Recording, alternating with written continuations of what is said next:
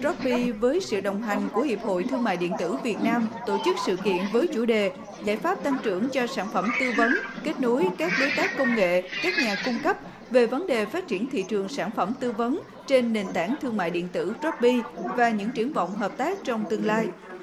Khi mà tham gia vào chương trình à, đồng hành phát triển các sản phẩm của ô cốp các địa phương thì chúng tôi mới nhận thấy rằng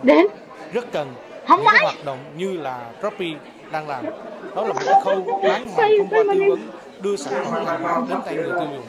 Droppy đã ra mắt ứng dụng Droppy of Business hỗ trợ việc quản lý đơn hàng và hệ thống kho bãi vận chuyển phục vụ cá nhân kinh doanh online.